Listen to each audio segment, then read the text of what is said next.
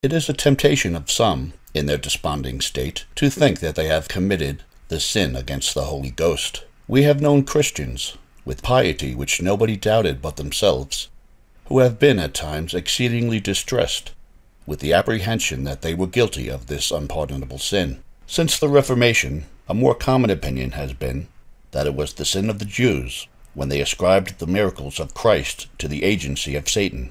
Dr. Chalmers and others think it to be not so much any one sin against the Holy Ghost as a prolonged sinning, a resisting and grieving the heavenly Comforter until he ceases to strive and withdraws.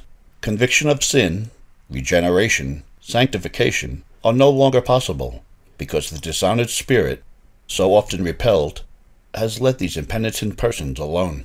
Sinning now has become unpardonable, as it can no longer be repented of.